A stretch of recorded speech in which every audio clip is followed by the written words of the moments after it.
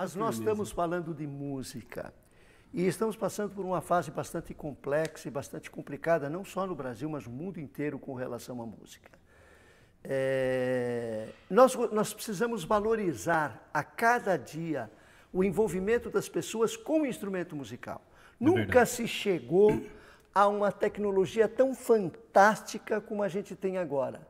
E a gente precisa atrair cada vez mais pessoas para que elas se envolvam com música, tenham intimidade com a música. Esses dias eu vi você tocando um tema que ele trabalha de maneira muito simples os intervalos de quarta. Essa música ela aborda intervalos de quarta e é uma coisa impressionante. Vocês vão ver. Repare, o tema é assim, ó. O tema, a base do tema, ele é dessa forma aqui, ó, duas vezes em cada tecla. É uma escala. Olha só.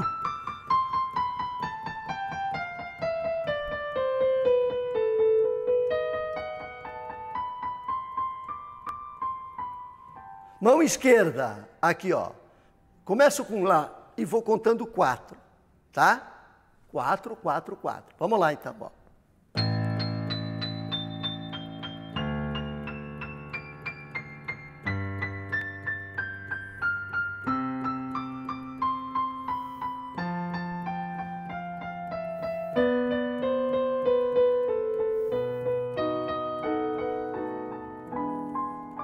Vou melhorar agora o esquema, que nem o Samporé faz.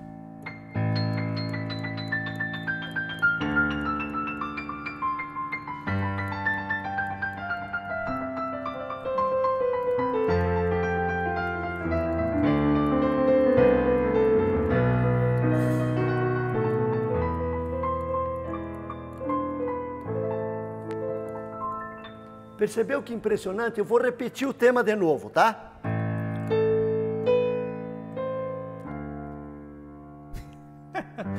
É uma caixinha de surpresa.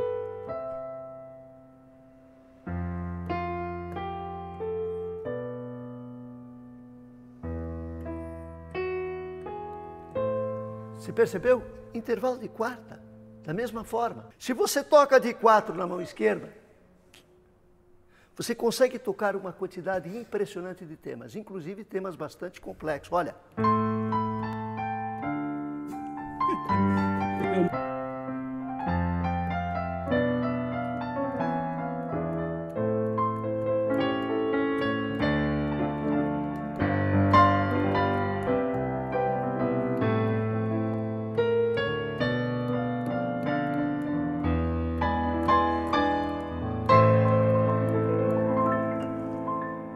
Eu- fiz questão de comentar com vocês aí a respeito desse intervalo de quarto, porque é uma, uma, é uma coisa que parece mágica, né? É mágico, assim. Igual o Uli que comentou sobre a gente é, simplificar as coisas. Porque, por exemplo, uma música como essa, que é só uma escala, a primeira que ele tocou e foi trabalhando ali os intervalos de quarta em quarta. Detalhe, porque ele tocou ali músicas é, de tom menores, né? Mas as músicas de tom maiores, principalmente as músicas populares, como músicas sertanejas, inclusive, principalmente os modão, né, que já tem ali a harmonia mais simplificada para viola caipira e tal.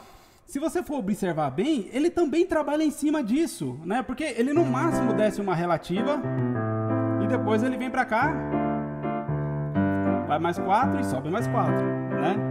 Esse campo harmônico simples, né? Tipo, tum, tum, tum. Isso aqui tá presente em praticamente tudo.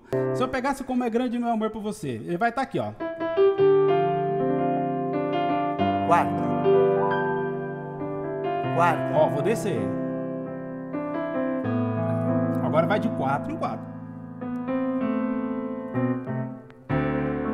Vou Quatro. subir mais quatro, Ó, ó, ó. mais quatro. E assim vai. Mas isso está presente em tudo. Em tudo. Né? E pessoal, acreditem, com a tecnologia que a gente tem hoje, por exemplo, eu estou tocando num piano aqui que é um professor. Esse piano aqui é o CSP 150. Um instrumento com timbre sensacional, muito perfeito, né? E eu consigo aprender qualquer música que eu quiser com esse instrumento. Então, vale a pena sim a gente dar uma atençãozinha especial para o mundo musical, principalmente o digital, que está fazendo total diferença hoje em dia. A sugestão é Veja a tecnologia, a tecnologia está fantástica. Nunca o instrumento musical chegou num nível tão apurado como agora, mesmo os instrumentos acústicos. Se eu falar de piano, por exemplo, a linha de acabamento de um Besendorfer, a linha de acabamento de um Fagioli, Steinway, Bechstein, que são os, os instrumentos premium, piano premium, nunca se chegou com tamanha qualidade como está acontecendo agora. Obrigado. Então tá bom, obrigado. Assim já não